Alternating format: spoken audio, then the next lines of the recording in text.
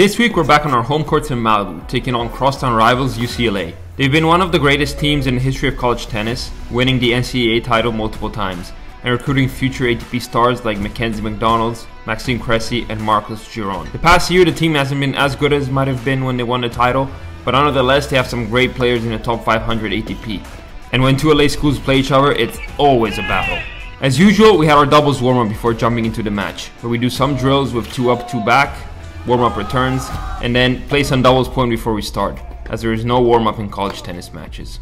We start off doubles with the right foot, at least in our service games. We're playing Govind Nanda, who plays one for them in singles and is formerly top 400 DP, and Jeffrey Fraskin on court three.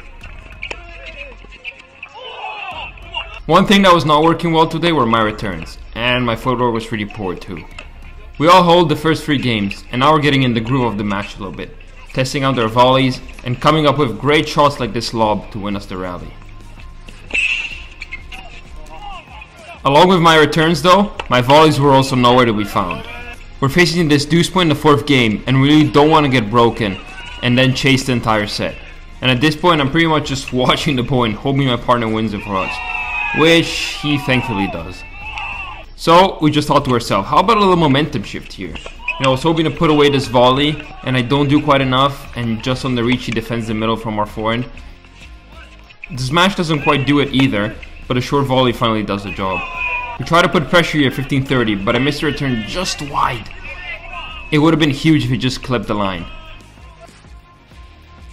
At 30 all, we put ourselves in a good position as I get a forehand to go inside out on and then I pull the trigger to go inside in and he misses the volley, giving us two break points. But as I said, returns were poor today. Missed this one in the net, and the deuce, he serves well out wide, and we can't really do much to save ourselves. No big worry, however, we're still on serve, you know, 40-30 here, trying to make it 3-all. Uh, I get this forehand inside out here, and then we see some wheat tennis here at the net a little bit. And then we switch over, I hit a back and middle, and the slow four forehand passing shot, which he misses the volley on yeah, as I was saying before, unfortunately, you know, it wasn't my best day for doubles. Balls were a bit off, movement, and again, judgment as well here. I leave this ball, which bounced inside the line. After another hole with 4-3 down, and I watched this forehand inside in by him go past me. We're now loft 30. On loft 30, we play with a second serve, and he hits a return right at me. I managed to make it somehow, but, you know, the lob after that is not good enough, and we try to put up another lob, but, but it doesn't do the job, and he closes the smash. It's tough when you go down low 40 in college tennis because it's not three break points, but it's actually four break points because there's no ad. But here, luckily, we managed to save this first one. But the second one hits his backhand return right on the line, and I was really hoping it was going to go out, but it does clip, unfortunately. Yeah, so now it was a problem because 5-3, we only have this game to break, and again, my return's nowhere to be found. Outside the alley, not not good return at all. 15 all here, we try to scramble a little bit, you know, lift this lob up and then my partner hits the forehand but again it looks like they can predict our moves and he plays a short volley winner. So we're three match points down and what we didn't need was a good serve and yeah the lob return isn't good enough. It just closes another smash and lose the test 6-3 I think it wasn't one of our best performances for sure. My volleys were nowhere to be found and my forward was also poor. I think that those things went hand in hand. Uh, but yeah we were just determined to bounce back in singles now in singles, I got moved up to number 2, and my opponent was Giacomo Revelli, British player with an ATP ranking of 1461 and a UTR of 12.68. He had a similar game to me, I would say, like playing a lot of forehands and dictating the game, so it was really a matter of who was going to do it first and who was going to make less unforced errors. But yeah, I find myself low 30 here, and I'm trying to make him miss, and he does with his forehand cross. So now it's low 40 and have four breakpoints opportunities. He second serves and I play this good forehand return deep. He goes for a cross and yeah, I got very lucky here. Uh, yeah, so I'm up 1-0 with a break now. Again, as I was saying, the key was to dictate the game, move him around my forehand, because we both didn't like running or moving that much. His forehand cross is what I needed to get the upper hand, and after I switch, he plays the backhand short, so I'm able to come in. He wasn't gonna let me be in control every time though, obviously. As you can see, he is aggressive here on my second serve, and I need to stay calm to flip it and not overdo it. This volley sets me up quite nicely for the smash. A good T-serve always helps, and despite choosing the wrong side to attack, I still get away with it. At 15.30 the next game, I was trying to extend the lead, and getting a double break would be massive. He had a good forehand, I think it's one of his better shots was pushing me outside with it like he does here. I stayed solid trying to find depth on my backhand side, waiting for opportunity to flip the point. I'm on the run once again, but his next approach is not the best, and I'm able to hit this huge passing shot cross court, which honestly felt amazing. That point put me back in the game, and I get two opportunities to double break.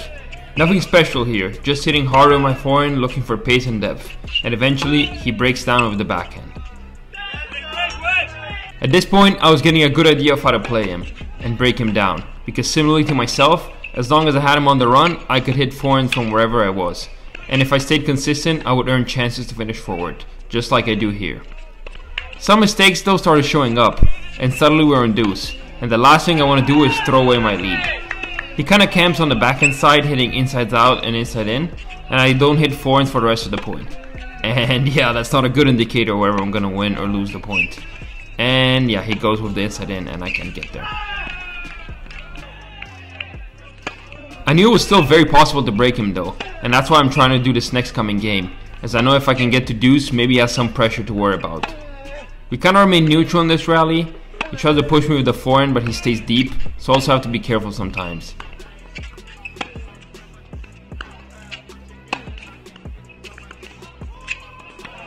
Eventually, I try to do something special, taking his backhand on the rise, but I miss it in the net. Nonetheless, I'm still up a break, and the serve came to rescue me, as it helped me set up this forehand approach. And then the smash, which climbed over me more than I thought it would. Great chance comes in 4-2 to retake the double break lead.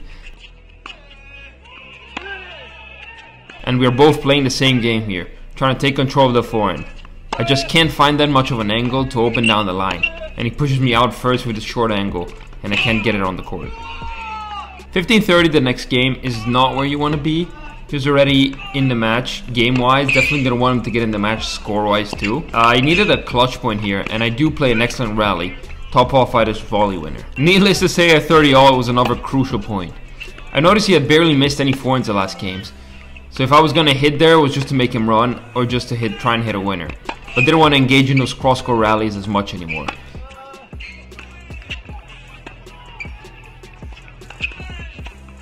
Sticking to the backhand turns out to be the right decision, as finally he misses. I hold to go up 5-3, but he's right on my tail and holds as well to make it 5-4. A good T-serve always helps, as I always say, and this forehand line is the reason why I love playing tennis. So, what do I do on the first set points? I serve wide and attack on the forehand, which went well. It's 40-30 now and I have two set points. And I could tell he was starting to play better and gain confidence. So I needed to take that away from him by closing the set immediately. Despite moving him around, I try to hit as many forehands as possible. I can't really find angle or depth. Not sure if I was tight or I expected him to miss or what was going on. But eventually I decided to hit a backhand, which is usually a terrible decision. But I get lucky as despite it being pretty short, he just misses the approach wide, handing me the set. The second set I needed a good start, and I actually get it for once, as I break him first game. But I never played any matches without causing trouble myself, so the next game I'm facing two breakpoints. The plan is the same, stay solid until I find the opportunity to flip the point and come forward. That doesn't really happen here, but he does miss the last forehand, which for me works just as much. After holding, I get another opportunity to break him, and I play this running forehand sliding as if I was on clay here. But it gets the job done as it sets me up for the next pass. 3-0. This set, unlike the first one, I was in good position to consolidate my double break. I'm up 40-15, and I could feel that he was about to play short any second now from my pressure. I hit this forehand taking time away and hit a winner. 4-0 now. Getting into this game, just trying to see what will happen, and maybe he would give me something for free. That was my mindset. Sometimes when I look at my footwork or my backhand, it looks like I'm not even trying, which, I don't know, it's pretty weird, but anyway. Yeah, I don't mind a slice cross here because I know I can destroy a forehand on the next ball. And there it is, putting me up in the game. At lot 30, I just keep my mindset of deep until I can push hard. And yeah, I'll just let you watch this point.